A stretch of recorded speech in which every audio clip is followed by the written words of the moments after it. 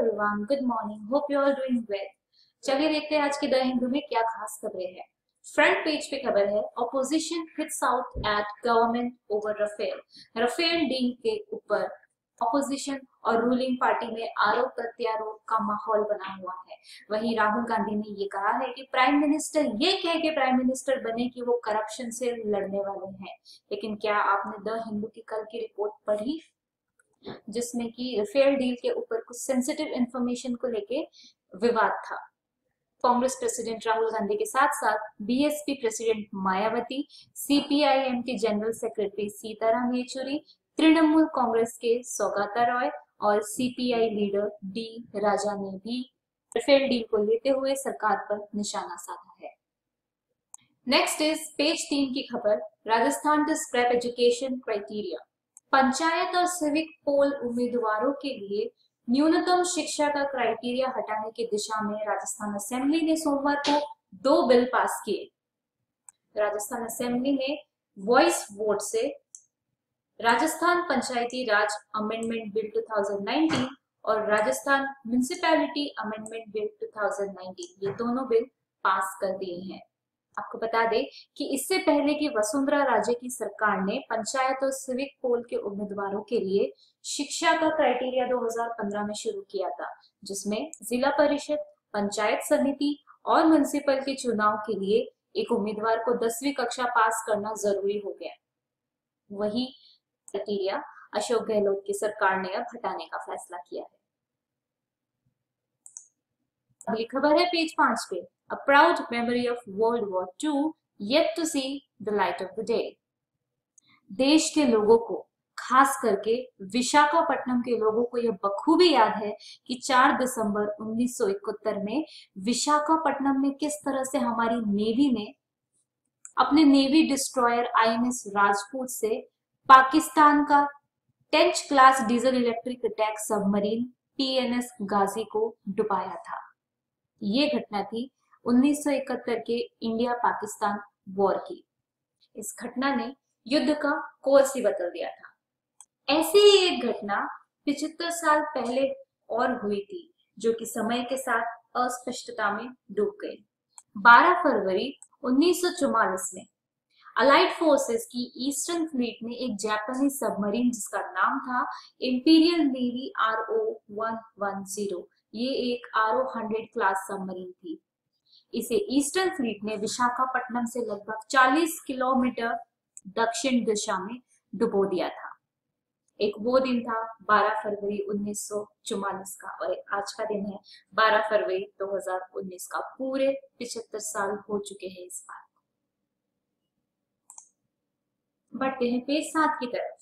60% children adopted in India between 2015 and 2018 are girls. 2015 और 2018 के बीच भारत में गोद लिए गए बच्चों में से 60 प्रतिशत बच्चे लड़कियाँ हैं ministry of women and child development के डेटा के अनुसार ग्यारह बच्चे 2015 से 2018 के बीच गोद लिए गए, जिसमें से छह हज़ार नौ सौ बासठ लड़कियाँ थी और चार हज़ार छह सौ सतासी लड़के। इन कंट्री एडॉप्शन का ट्रेंड अगर देखें 2015 से 2018 तक तो 2015-16 में मेल चिल्ड्रन जो लड़के हैं, उन्हें गोद लिया गया। उनकी नंबर है एक हज़ार एक सौ छप्पन। वही फीमेल बच्चों की संख्या है एक हज़ार आठ सौ पचपन। दो हज़ार सोलह सत्रह के लिए आंकड़ा लड़कों के लिए है एक वही लड़कियों के लिए आंकड़ा है एक हज़ार नौ सौ पंद्रह। साल 2017-18 के लिए लड़कों के लिए आंकड़ा है एक हज़ार तीन सौ तेईस और लड़कियों के लिए एक हज़ार नौ सौ तिरालीस साल 2018-19 में तकरीबन 903 लड़के गोद लिए गए और लड़कियाँ एक हज़ार दो सौ उनचास। तो हम देख सकते हैं कि ये ट्रेंड 2015 से 2018-19 तक बढ़ता ही गया है, कभी कम नहीं हुआ। और अगर 2015 और 18 के बीच इंटर कंट्री एडॉप्शन के ट्रेंड देखें तो 2015-16 में तकरीबन 226 लड़कों को गोद लिया गया था और 440 लड़कियों को।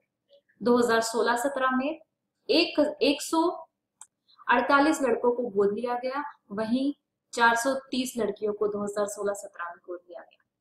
2017 और 18 में एक सौ अठानवे लड़कों को गोद लिया गया और लड़कियों की संख्या थी चार सौ तिरपन। दो हज़ार अठारह उन्नीस के लिए लड़कों की संख्या थी एक सौ चौवालीस और लड़कियों की दो सौ इकहत्तर। अगली खबर है Bhupen Bharat Ratna type to bill music maestro Bhupen Hazarika के यूएस बेस्ड बेटे तेज हजारिका ने यह कहा है कि भारत रत्न, भारत का सबसे ऊँचा सिविलियन अवार्ड जो कि उनके पिता को मरणोपरांत दिया गया है। उसे एक्सेप्ट करना या रिजेक्ट करना इस बात पे आधारित है कि केंद्र सिटीजनशिप अमेंडमेंट बिल 2016 के मुद्दे पे क्या कदम उठाती है। आपको बता दें कि असम और दूसरे उत्तर पूर्वी राज्य इस बिल के खिलाफ है, जो कि गैर मुस्लिम शरणार्थियों को, जो 31 दिसंबर 2014 तक अफ़गानिस्तान, बांग्लादेश और पाकिस्तान से भारत में घुस आए हैं, उन्हें सिटीजनशिप नागरिकता देने के लिए है।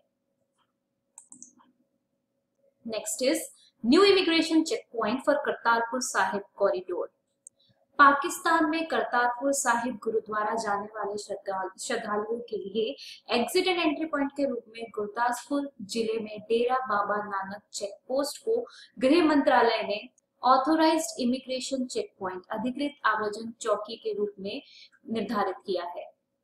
एक नोटिफिकेशन में गृह मंत्रालय ने यह कहा है कि कोई भी जिसके पास यात्रा के वैध दस्तावेज़ होंगे, वो यहाँ से इस चेक पोस्ट से आ और जा सकता है। Next is to counter exploitation by NRI spouses non resident Indians NRI husbands द्वारा भारतीय नारियों के शोषण के बढ़ती घटनाओं को रोकने की दिशा में external affairs minister Sushma Swaraj ने राज्यसभा में एक बिल इंट्रोड्यूस किया है। विदेश मंत्रालय ने यह कहा है कि ये बिल एक जवाबदेही बनाएगा और उन लड़कियों की रक्षा करेगा जो कि धोखाधड़ी की शादियों में फंसी है और अपने पतियों द्वारा छोड़ दी गई है। नए बिल के अनुसार एक एनआरआई और भारतीय सिटीजन, भारतीय नागरिक के बीच शादी के दौरान या शादी के बाद इस शादी को, शादी की डेट से 30 दिन के अंदर अंदर रजिस्टर करवाना ज़रूरी होगा।